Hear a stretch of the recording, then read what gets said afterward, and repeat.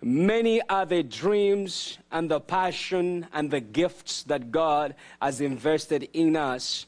And I believe that as we understand the total package of Christ being the center of who we are and everything He stands for, we also need to understand that because of him, we have been empowered to change the world. We have been empowered to bring transformation. You know, one thing that we need to see here is that we can know all we want to know about Christ until we put the knowledge of his word into practice and become the conduit in which it changes the world. We can never touch the nations.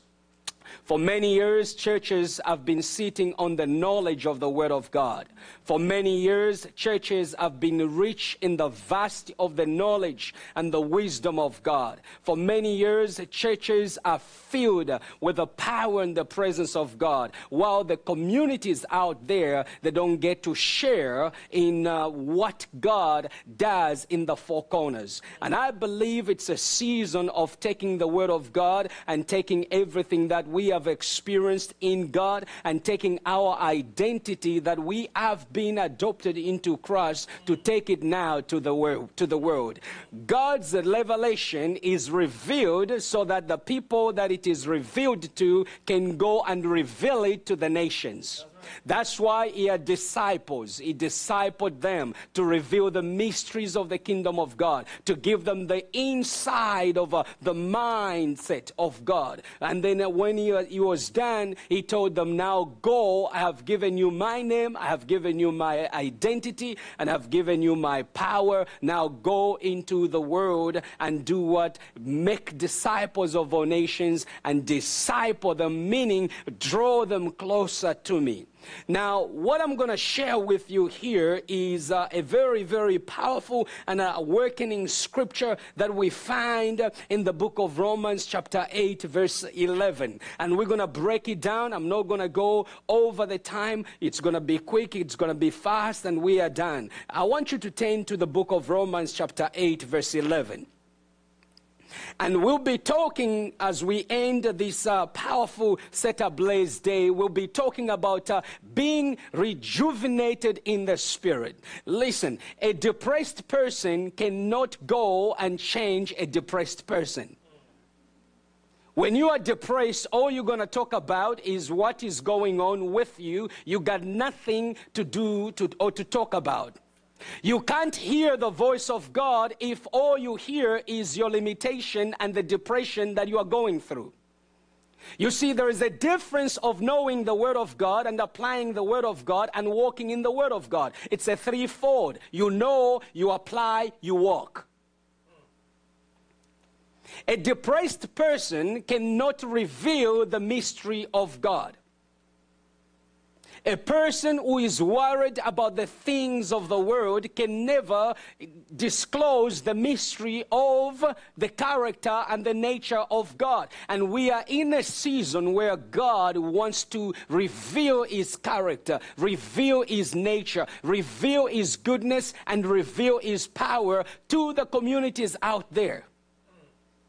So, how do we rejuvenate now our passion, rejuvenate now our, our, our dreams and uh, our callings and our purposes that God has called us to? We've heard the word, we, our identity is in Christ. That is enough now.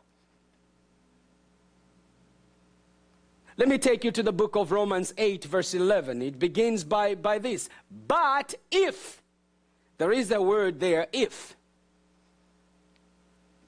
Meaning, you could decide otherwise. It begins by, but if the spirit of him that raised up Jesus from the dead dwell in you, which he is in us, he that raised up Christ from the dead shall also quicken your mortal bodies by the spirit that dwelleth in you. We're going to look at that word quicken.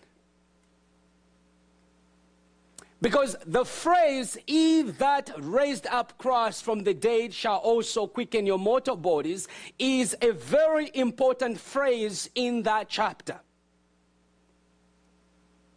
It's in this, it, it, it, it is speaking of the same power that raised Jesus Christ is the same power that is going to raise you up. What this scripture is talking about is not talking about you dying and then the power of God raises you up. It's talking about you having an empowerment in this life right now, being quickened right now, being revived right now, so that the same power that raised Jesus Christ can quicken your mortal bodies here on earth and do the will of God. So if you look at that phrase, First, we begin to understand that our mortal bodies, I think Pastor Ian has, uh, has touched on this, our mortal bodies are full of limitations. That's why our perfection is in Christ. He has no limits. You can never confine him in a box. So you begin to understand our mortal bodies are full of limitations. Our mortal bodies are full of obstacles that will stop you from uh, being or becoming or manifesting the Christ in you, which is the hope of glory. Look, we can talk all we want, we are king's kids until we act like it. And I don't mean like acting, I mean like do like the king, then we are no kings. A doctor can never be called a doctor in in in the, uh, at the hospital if he's uh, not performing the duties of a doctor. Uh-huh. Christianity is not a religion. Christianity is the manifestation of what Christ has done on the cross through a people, meaning Christ comes and he dwells in the people to manifest the mysteries of the kingdom of God. Now, with our mortal bodies, we are limited. That's why we have talked about our identity being in who? In Christ. So when, when we look at this scripture, it is very, very, very uh, uh, uh, powerful scripture because we understand with our mortal bodies, we have limitations and there is nothing we can do within our willpower or our strength or our wisdom to change that. You can never go to a doctor to fix your limitation. When you are tired, you are tired. All you want to do is sit on the couch and watch television. And nobody can fix that. But there is a supernatural power that comes upon us that causes us to do things in within our ability. We can never do them. Why? Because we are in Christ. A tired Christian is a Christian who is using his own willpower to achieve something on behalf of God. And it doesn't work. That's why we go into many churches around the world, you find they're exhausted. And the message of the evangelists of those days were like, uh, are you served? You go into hell. Oh, I don't want to go to hell. You, you, you get your ticket to go to heaven. And then now you are just seated in, in the pews, exhausted, tired. Why? Because you are tired because you haven't been doing what you were created to do. Oh my goodness. I, I hope I'm taking you somewhere here. Here it goes. We feel exhausted both physically and spiritually because our body, our mortal bodies, without the presence of God, they have limitations.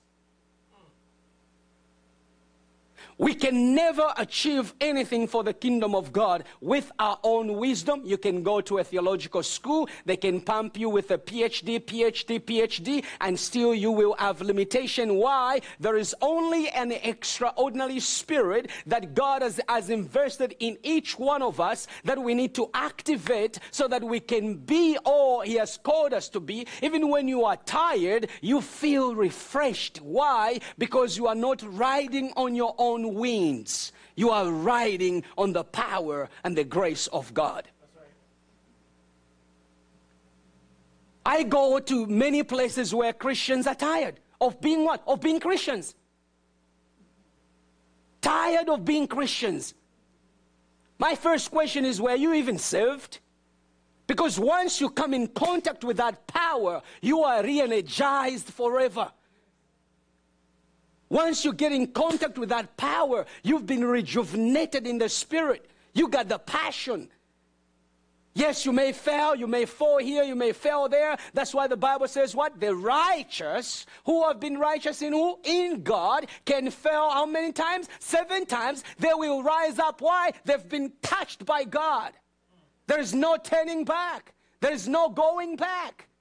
Just because I failed yesterday doesn't mean I'm going to fail tomorrow. I'm going to working up to the life of Christ in me. Yeah. So here, what is happening here is that uh, we begin to see that in our own we have limitations. Our vision are limited because what you and me sees is what we see in front of us. There are few animals that God identify himself with. Did you notice that? One of the, the birds or the animal, if you like, that God likes to identify himself with is an eagle. So why would God identify himself with an eagle? What does an eagle have, have or the attributes of an eagle to cause God to say, I am like an eagle? Why? Sight. And then it flies so high. But it can be so high up and still see far beyond. You see what? That is the vision that is limitless. Why? Because it's empowered by the destiny of the kingdom of God. When you get in touch and in contact with the kingdom of God and that destiny rubs off of you, you see things that people do not see. That is the difference between a Christian who has experienced the presence and the power of God sees things very different. You can live at a level where you see just limitation. You see just the struggles. You see just everyone what they are seeing. But are you a Christian that is rejuvenated enough to see past what you see, the troubles you see in your city? Oh, this is maybe beyond you. I don't know. But that's what I see. Whenever I see, I'm looking to God to say, empower my vision,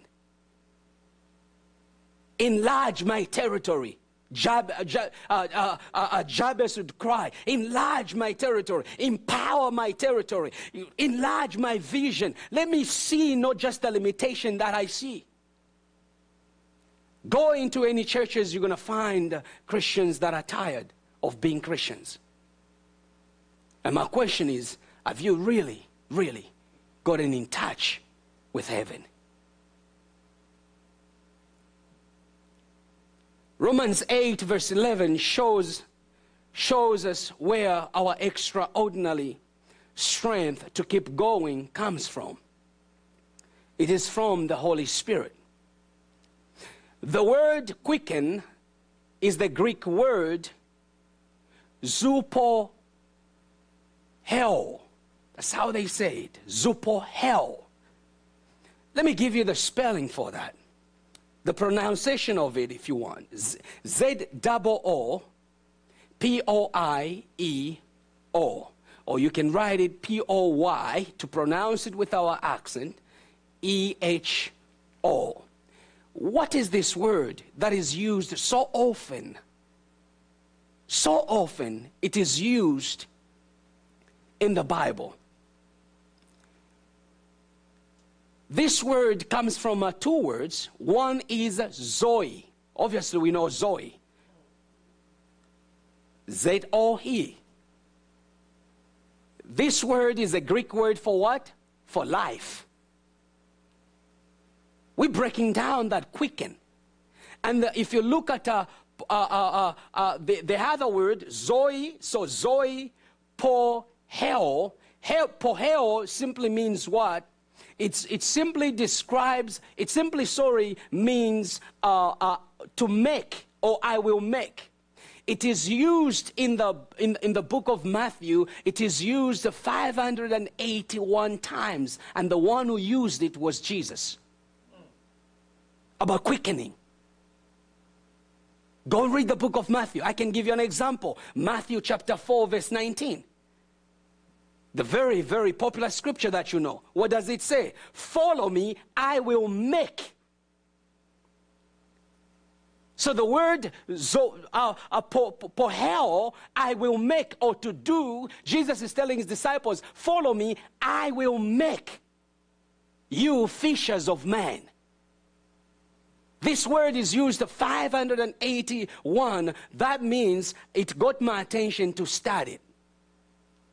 And especially, it is Jesus who has, made, who has done what? Who has spoken this word. To make. Look, Jesus right now is looking for a people he can awaken to his truth. He can awaken to his righteousness. He can awaken to his identity so that he can make them do what heaven is crying for his people to do. God wants heaven to manifest through you and me as it is in heaven here on earth. So if you begin to see this word, po, po, poheo, it simply means to do. So when these two words, Zoe and Pohel, are compounded together, it means to make alive with life. To make alive with life. To cause to live. Have you ever had the joy of living? You see, the problem in, the, in our world is that we associate living with, with things. I got to have this in order to enjoy my life, to live. You will never live if you associate your, your life with things. But when you are in Christ and you've been in touch with heaven, you have this cause to live. What did Paul say? I can go and die for the gospel, but I want to live. Why? Because I got a message that needs to be heard, so it is causing me to live here on earth so that I can proclaim the word to the, to the world. People say, I want to die for the gospel. I said, No, don't die for the gospel yet until you, you are caused to live for the gospel. Because the first thing that God is going to ask, What did you do for me? Meaning, have, have, you caused the gospel, have you lived for the gospel or for the good news or for the message that Jesus preached? There is a difference to live for that. I live for the gospel, Paul would say.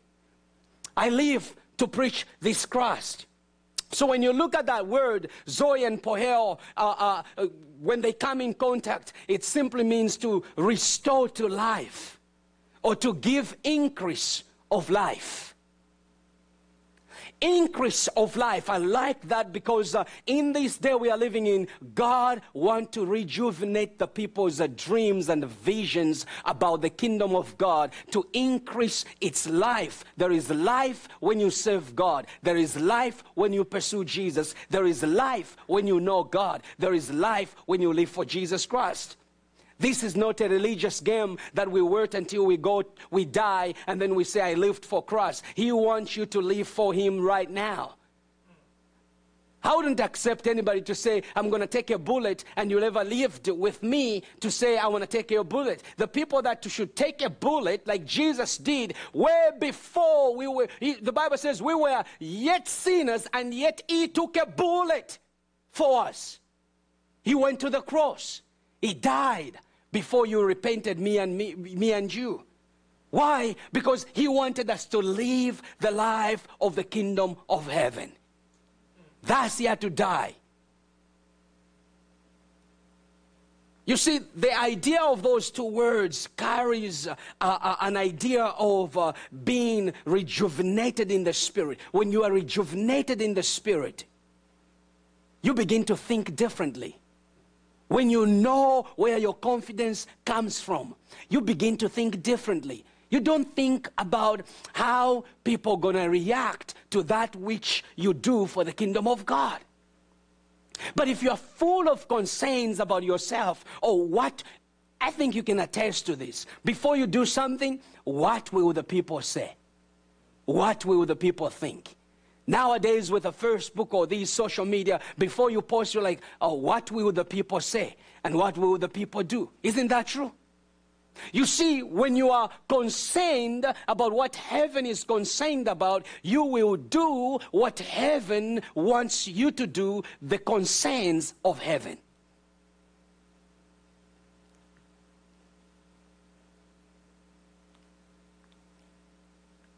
We can't fulfill anything without walking closer to the Holy Spirit. He, the Holy Spirit. As Romans says 8, verse 11, He, the, the Spirit, the same Spirit that raised Jesus Christ will raise you up. We see now where the connection is. We see now where their identity is. We've been talking about their identity. The Spirit of God cries and bears witness that we are the children of God, meaning you can't do without the Holy Spirit. You can't live this Christian life without the Holy Spirit. It's impossible to live in the divine nature and power without the Holy Spirit. The Holy Spirit is like the seals that seals the ordeal. Think of it of a, of, of, of, of, of, of a pipe that doesn't have the seals. There will be some leaks all over it until you put some seals around it. Isn't that true? So the leaks that come from our lives, our attitude, our behavior, the way we see things, the way we see ourselves, the way we do things is because the Holy Spirit isn't sealing everything that needs to be sealed or we are not allowing the Holy Spirit to seal everything that has been already sealed in the Bible. That's why there are leaks. Passionless, desireless We can't do or be what we are called to be without the Holy Spirit. We are a new man and perfected in Christ, and the evidence of that is what? The Holy Spirit. If somebody was to tell you, I am perfected by God, I will say, where is the evidence of it? There should be some evidence. And we're not talking about talk, speaking in tongues. You see, the world is waiting for the signs of God to be manifested the sons of God who realizes their identity, what they have, what they possess. They may still have trouble. Pastor Ian made a very, very significant point, and I was uh, paying too close attention to it. The plane will fly to, it defies the power or the law of gravity, and it still flies, but that gravity is still there. Did you catch that? The problem with our mindset is that we don't want any troubles to be there. We don't want anything to be krata there. We can only serve God when everything is going well. We can only serve God when the paycheck is there. That's not how it's supposed to be. When you have the Spirit of God, all these troubles may be there, but you are not limited to those problems or troubles around you. You realize I can defy gravity. Just because these problems are here doesn't mean that I can't soar with Christ. I can soar like an eagle. Why? Because it's Christ who enables me to soar like an eagle. We are so busy, caught up in looking at uh, what we can't, what we can, uh, our, our, failures. Uh, uh, uh I've, I've, had people, you, you, share like a vision or, or, or, or, thing, and they are looking at their numbers and the, and the paycheck. Oh, we can only do this if the numbers are right. You will never do anything, even if the numbers were right, because that's not how the law of the kingdom of God operates. It operates by faith. You got to step out, and faith is triggered by what is in you. If the Holy Spirit is the one who is in you, it will trigger that faith. Because your confidence does not come through your ability, it comes through the babbling of the Spirit that is in you. You respond to what the Holy Spirit is speaking in there.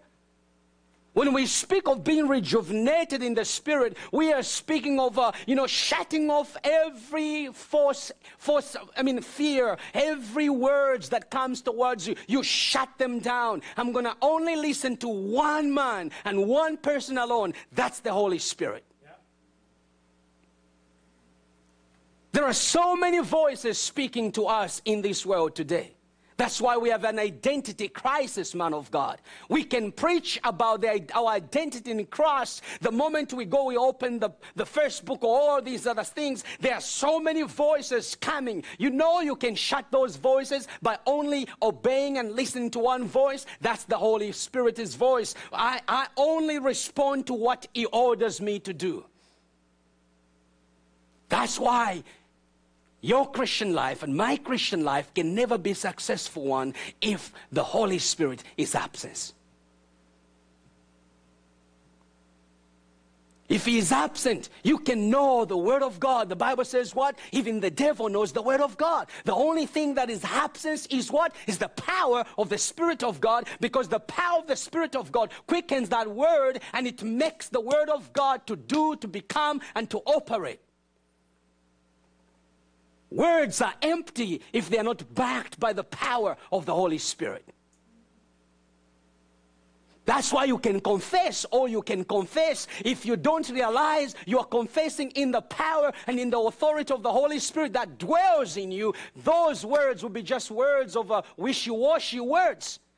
I have many people that have wishy washed. I wish, I wish, I wish. 20 years.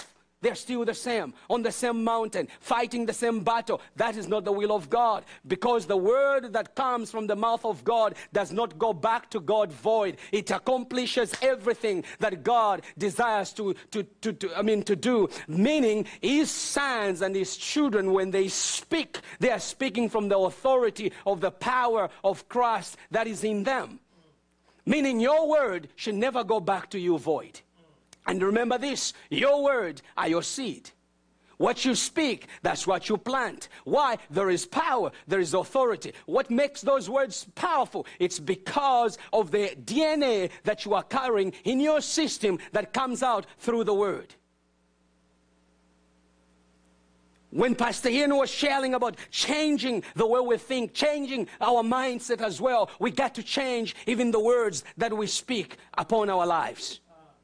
We can never be by speaking, I can't, I won't, I will never. Oh man, this is just in our family. This is just a curse. It has been there. It has been. You will never see anything different. Insanity is insanity because you are trying to do the same stuff and expect to, to reap a different result. That is insanity. Change what you plant in the seed, you will change what you reap. So we find this Holy Spirit, His presence in us is the mark of Christ's ownership of me and of you. The Holy Spirit is the, is the mark. It identifies, it speaks to the enemy. We have been marked. We, Christ is our owner. Every company has a name and a logo. What does that mean? They own that company, and that company belongs to them. If you are ever to use their logo or their name uh, without their permission, they are suing you because it doesn't belong to you. Same with you. The enemy should never attack you when there is a demarcation or when there is a mark of the Holy Spirit over your life. You see, we, we got to realize that our identity in Christ carries the authority and it carries the power. You see, if, I, if, if, if, if somebody was to tell you that uh, I'm from the president and uh, I'm a very close friend of the president, and the president had told me to come and pick you up, you're going to go to White House or you're going to go to whatever, whatever office of these bigger higher offices, you will have the confidence to say, wow, you're going to go in there. You won't even like, a, uh, if, if, if he told you and you are all by yourself, you're going through the, the those, uh, you know, uh, the security system, you're going to have confidence confidence. You won't be there, oh, I'm here because they called me. No, you're going to have the boldness. Hey, I just spoke to the president. On my phone, he just called me. He told me I have to come here. Oh, okay, let's see in the name. Oh, yeah, yeah, yeah, you go. You won't even go like, a, oh, please, can I see the president? Why? He has given you the authority. He has given you the seal. He has given you the approval. God has given you the approval for this life to do what He wants you to do in this life here on earth.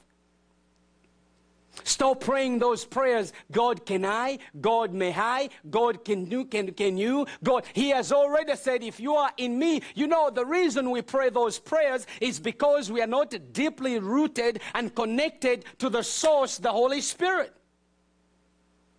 When you are connected to the Holy Spirit, you have the boldness. Yes, there is humility of knowing you, your power and your authority comes from God. Thank you. I understand that. But I'm not going to face a battle and then start going like a, with a, oh God, can you? The Holy Spirit. If you don't know how to depend on Him, and if I don't know how to depend on Him, things becomes very difficult. He is so important because by him we have a consciousness that God is our Father, our guide, our protector, and we are perfect in him. You see, why we struggle with identity is because we don't have the consciousness that is triggered by the Holy Spirit to remember that Jesus died for our sin and Jesus has given us a, an identity. Our identity is in Christ. You won't have the consciousness. The difference between a non Christian and a Christian, a Christian is that he has now experienced the consciousness of knowing wrong from the right. Why? Because he has come in contact with heaven. A non-Christian, they haven't. They don't. They've got something that will trigger to them, but they don't have that consciousness yet that provokes them to say, "This is disgusting. I want to do what God wants me to do." You see, that is the, the work of the Holy Spirit. The Holy Spirit gives us assurance of our, our status in the kingdom of God uh, uh, uh, and of our salvation. He approves of all that. In our weakness, when you have the Holy, the Holy Spirit in you and with you, in our weakness and in our limitation, He becomes, first of all, our strength. And in our limitation, He becomes the beyond the limits. There are levels to this Christian life. You can live at the level where you use your intellect, where you use your, your mind, where you use your wisdom, you use your study, you use all this stuff. And there is another level where you can just sail in the winds of the Holy Spirit, tuned to his voices and everything he wants to say and everything he wants to do. One day I'm driving somewhere and I told my wife, I'm going to go. We needed, a, we needed some fans uh, uh, for, for a project we're doing. And then um, I didn't even think about it. I said, you know what? I'm not going to ask nobody about this project. Let me just get a and these guys have been bugging me about the loan for a long time, and I know it's, uh, it's not very much, so I can just even pay it at one time. So I jumped in my car. I didn't even talk to my wife that day, started driving. I'm driving, I'm just like two minutes before the, the, uh, the, the office there, and then all of a sudden the voice comes. Is that what I said? Just stand and go. I did not tell you to go and get a credit to pay for this thing. And all of a sudden, I make a sharp 10 without understanding, but I know the higher power, the higher authority, the Spirit of God is testifying to me this is not the will of God. That is the beauty of being submitted to the Holy Spirit. It is not rolling on the carpet 24 7. It is having the consciousness He is speaking. He is here. He is directing me. He is my dependency. He is the one I'm submitted to. What do you want me to do, Lord? Sometimes we can do something of our own in within our own will, but it won't be God's will unless we obey the Spirit of God and the leading of the Spirit of God. Then we begin to see the fruits. You see, Abraham made a mistake as well. A baby was taking too long to come. What did he do? He had to have a child. That was not the will of God for him.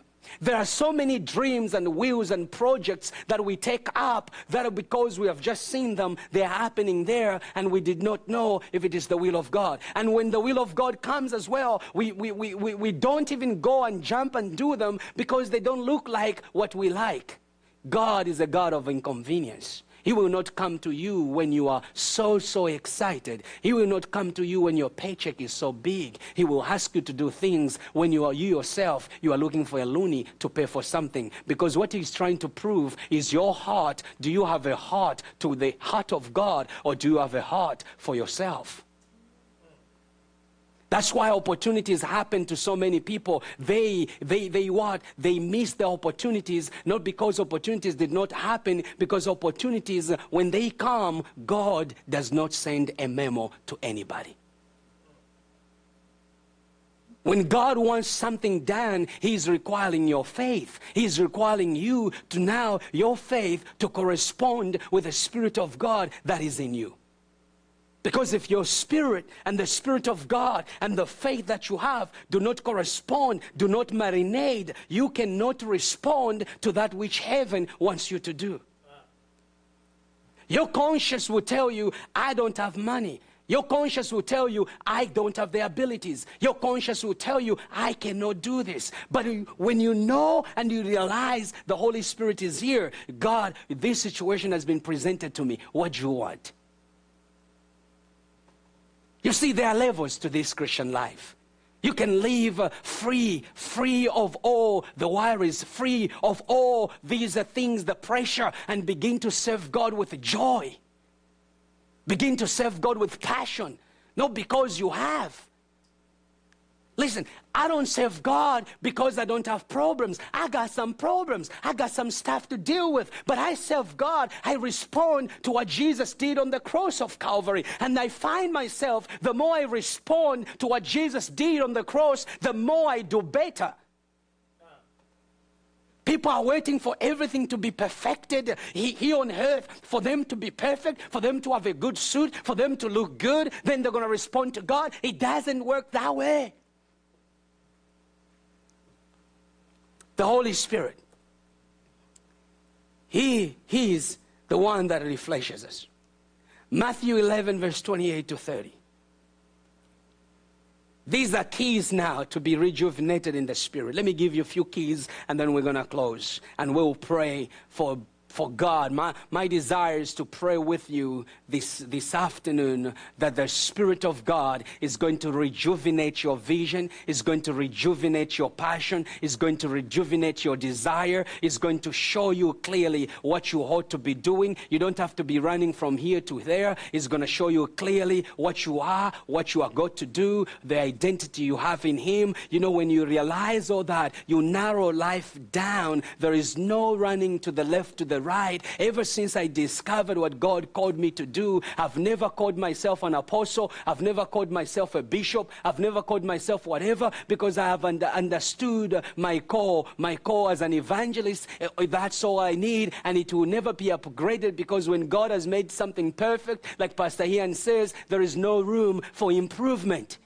The people that changes today, they are apostle, tomorrow they are bishop of the bishops or whatever.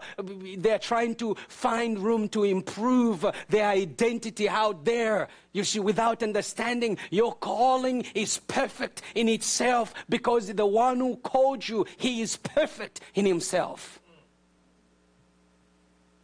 Here, Matthew 11, verse 28 to 30. Come to me, all who labor and are heavy laden, and I will give you rest. When you see that word rest there, it's not talking about you laying on the carpet, on, on the couch without, with, without no problem. That is not what he's saying there.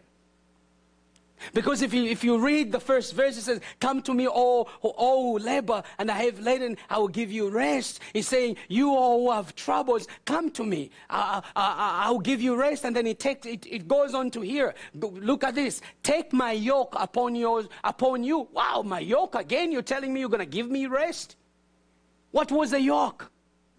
They'll put a yoke in the, in the, in the, uh, in the head of a, of, a, of a cow so that that yoke can control where they want the cow to go. Isn't that true? As it is plowing, they can control it somehow to go into the direction they want. So, what Jesus is saying here, he's saying, I will give you rest by giving you another direction. I take my yoke, which is not going to put you down. It's a yoke that's going to lift you up, and I'm going to give you direction. I'm going to give you where to go. I'm going to direct you. I'm going to send you where you need to go, just like a, a yoke was put on a cow as, the, as it was plowing. You begin to plow with me without any pressure, without any guilt. You can plow with me, you can work with me, and you can be fruitful. There is a difference between being fruitful and just being a Christian without being fruitful. The world does not look at empty words, they look at the fruitfulness of where we are and what we have done. And I'm not talking about numbers here. The fruitfulness, when people see you, what do they see? Do they see the glory, the manifestation of the presence of God? Or do they see somebody who is just looking into themselves saying, Oh, poor me, oh, poor me? We torture ourselves so many times. Look here. Take my yoke upon you and learn from me. For I am gentle, meaning I am not going to, to say, You're not getting it. You see, as a parent, what do we do when the kids repeats the same mistake over? You're not getting it? But him is saying, I'm a different, different. I'll take, take my yoke. I'm gentle meaning I am willing to walk with you at whatever level you may be. You don't have to be ashamed when you are a Christian. Whatever the past holds you, whatever things as you've done, wherever things has got you to, don't be ashamed. I want to walk with you. I want to get all those stuff out of you so that when you are free, you will have rest. And when you have rest, you will pray nicely. You will pray in power. You will pray in authority. You will pray in connectivity with God. Because when your mind is filled with stuff from the past, you can pray all you want, but it is draining you. That's why you're just praying and you can shout, but it is draining you. Why? Because you are not connected to the rest that comes from knowing the presence and the Spirit of God. There is a diff, there is a level to go to. You see the difference here. He knows, God knows when you are full of uh, stuff in your life, you won't function according to the way He wants you to function. That's why He's saying, Take up my yoke. I will show you the direction. I will give you rest. I am gentle, Lord in heart, and you will find rest for your soul. Uh, that is a very big significance right there. So many people, so many of us don't have rest in our soul. You know, we rest the body. When we are tired, what do we rest? The body and the mind. But you can't rest your soul. The only one who rests your soul is the Spirit of God. When your soul is rested, guess what happens? God begins to reveal His mystery, His dreams, where He wants you to be. Now you can hear God. I was working at a place not too long ago. I wanted to be supplying for my family, and then I'm at this place. My mind is being bombarded by God showing me this, God showing me that. God show. I told my wife I can't work anymore because God is showing me some things to be done. And when I stepped down for real, those things have come to pass right now. And I'm telling my wife, my wife, she's my witness. She wants me to go and work out there. I'm an evangelist. I live through the gospel. Sometimes I don't have anywhere to go and preach, so I have to go and work. But you look, when you are in tune to the Holy Spirit, God begins to give you ideas. God begins to give you where's to go, things to do, and it becomes difficult for you to listen to other voices of the world because He is speaking to you. He has narrowed it down, and you have to follow it suit. This is not just a wishy washy sitting, God is speaking to me. What did you do after He spoke? Man of God, come and play the keyboard quickly here as we wind up.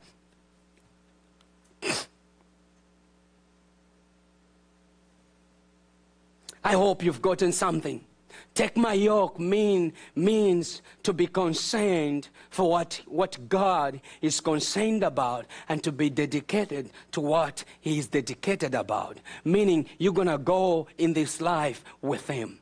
It feels good to have a friend who, is stick, who sticks closer than a brother, who doesn't judge you. You can go through this life. You can go through now navigating through life, knowing my identity is in Christ, knowing I'm empowered by the Spirit of God, knowing I stand on the Word of God. I am not who they think I am of the past. I'm a different person. I come from a very troubled purpose past. He can tell you many people, I got loads of people on social media who knew me then. And most of them, I'm, I'm told they've received salvation by just watching what God had done with, with this life. The life considered to be useless.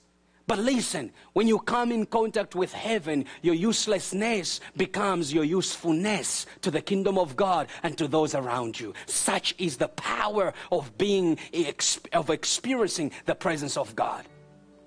But what stops us from, uh, from accepting this Jesus to do stuff with us is because we are ashamed of where we've been in life. Look, we can talk all we want about the identity, but if you don't look, if you don't cut off the past to embrace the new identity, the past will st still speak in your life. You say, God says, the past says, I say. God says you are righteous in Him. The past say, I know what you did that day. And, and then now there's this conflict and there's this voices whispering fear, whispering lies, whispering stuff in the mind. Now we come to God. We are in a crisis. We can't respond to our new identity and we can't respond to the functionability that comes with an identity. And we can't also function to the responsibility of that identity. Because the past is speaking as well. The past is trying to work on us as well. And God is saying uh, the, the, this afternoon that uh, uh, take my yoke. Take my yoke. Come walk with me. Come walk with me. And if you walk with me, I will run with you. And if I run with you, I will protect you. If I protect you, there's nothing to fear. It doesn't mean that things will be perfect. It doesn't mean that those circumstances won't try to come back. But he's saying those circumstances may be around there because your eyes are fixed on what Jesus did on the cross. And on the cross, he said, What? It is finished. It is done.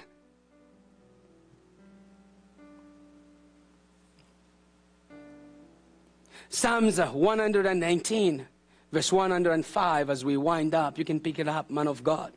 I'm just going to read these scriptures here.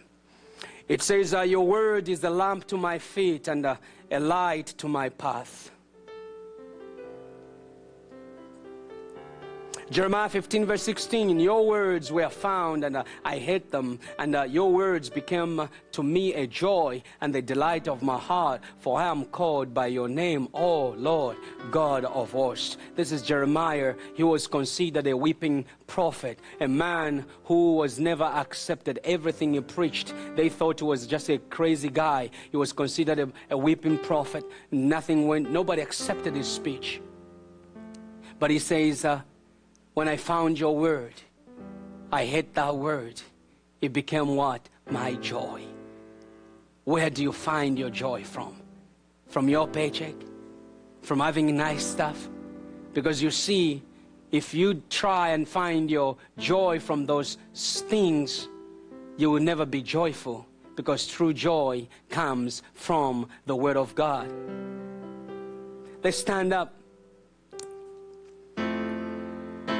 Rejuvenating your spirit and binds you, releasing those parts of you that are enslaved to the fears and to the things of this world. Your fears and anxieties lose their power to tie you down because you are operated by the Spirit of God and by a new identity that has got no limitation. When your life feels barren, when your life feels like you are stuck, let the Holy Spirit help you focus on God's faithfulness and which, which, which flourishes during a season of hardship. When you feel like you've gotten to the bottom to the to the bottom of life understand your identity in Christ understand who you are in Jesus Christ because that brings life that brings revival to yourself to understand I am not what I'm going through. You are not living in denial. There is a difference in living in denial and a difference of seeing things as God sees them When your circumstances have, uh, have you feeling stuck, or you feel like you are in a dry valley, or your vision is in a dry valley, or your passion is fading, or everything you do does, doesn't work, I believe the Spirit of God can revitalize or rejuvenate your spirit and rejuvenate your soul so that you can have the passion once again, the same desire that you had when you had God in you. You desire to be in the house of the Lord, you desire to be in the Word. And I believe right now that God is speaking to your soul, reviving it once again, speaking to you. I am not done with you yet. May the Holy Spirit saturate your hearts with His promises as we embrace our moments of stillness with courage, knowing my identity is not in who I am. My identity is not in my tribe. My identity is not in my nation. My identity is not in where I was born. My identity is not in my knowledge. My identity is in Christ. My identity is in who God says I am. I am not defined by the things that surrounds me or the things of the past. I am defined by what heaven defines me as a child of God. I am born of the Spirit, born in God, born in Christ. I am a new man and a new nature, and there is nothing that the enemy can do to change that because that is sealed under the blood of Jesus and by the Spirit of the sovereign God. You see, that is what the Word of God speaks about. When God visits you, He visits your passion, He visits your soul, He visits your spirit, He brings healing to your soul, He brings healing to your mind, He brings healing to your passion because the enemy tries to rob you of that which God created you. And God is saying, My son, my child, my daughter, I am in these places right now. I have come to do what? To cleanse. I have come to renew. I have come to revive. I have come to transform. I have come to lay down a new path for you. For this year is a new year. It's a year of my manifestation. And I want to manifest my glory in your life. Your past has no hold over your life. Your struggles has no hold over your life. I am giving you a new chapter. You are taking on the presence of the sovereign God. You see, when the Spirit of God is speaking to us, what He does is that He captures our heart and He captures our soul. And I pray this moment that you don't miss the point of what Jesus wants to do with your life. Do not let this moment passes you by. Do not let this moment passes you by. This is a very important moment where the Holy Spirit is bringing to light your vision. He's bringing to life your callings. He's bringing to life that which has called you because you have been called to walk up higher. He is working in us right now reviving every single thing in our lives, bringing healing and restoration. He restores because He wants you restored to restore those around us. That such is our God. Our God wants the best for each one of us. Our God wants the best for you. It is not over. The enemy's lies are gone. Today is a new day. It's a brand new day. Let the mercy of the Holy Spirit and the mercy of the Lord Jesus Christ right now just, just overshadow everything you've been through in life. Let the mercy and the glorious presence, the kavod, the kavod, the glory of God encompasses your life today. Let the presence of God begin to fire up those uh, power and fire up the stars of the living God upon your life today. May this moment mark a moment of the new dimension in your life. You can go deeper, and you are going deeper, and you can touch heavens by your life. Jesus created you for a purpose. Jesus created you for a purpose.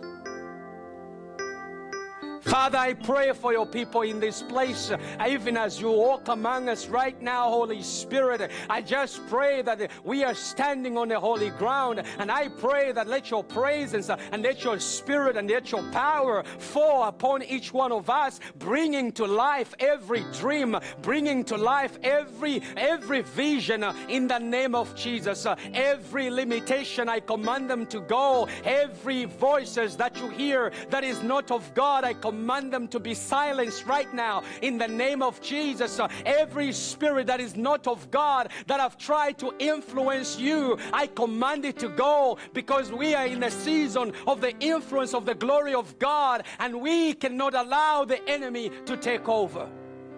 Father, thank you for what you're doing right now. Thank you for rejuvenating the lives right now. Thank you for reviving these lives right now. Thank you for your power. Thank you for your presence. Thank you for your glory. Thank you for your touch. Thank you, Jesus, that you we are here because of your mercy. Speak your word, O God. Begin to give revelations to these your people. Begin to show them, Father, what they are, what they are capable of, and where you're taking them. I pray for new dimension of revelations new dimension of a passion.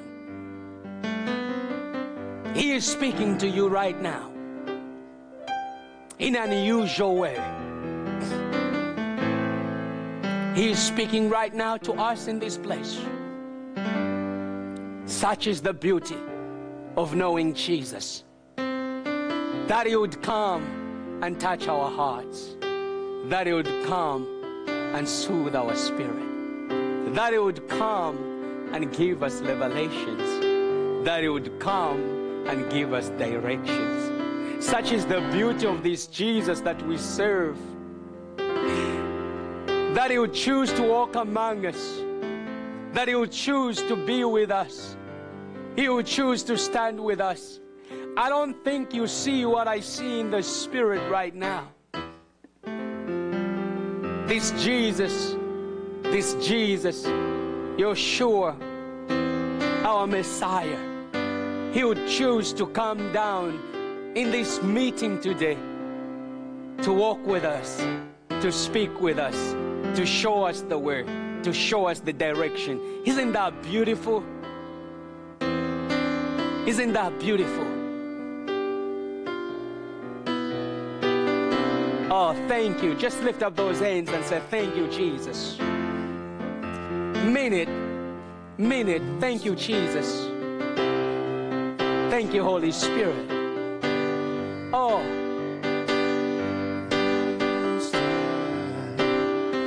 Just for a few seconds, just close those eyes and lift up those hands as He speaks to you.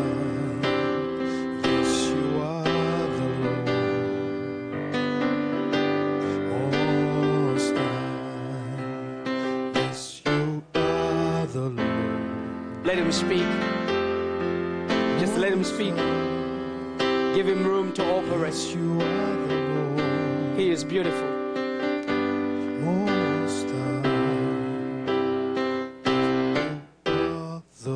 Let him speak.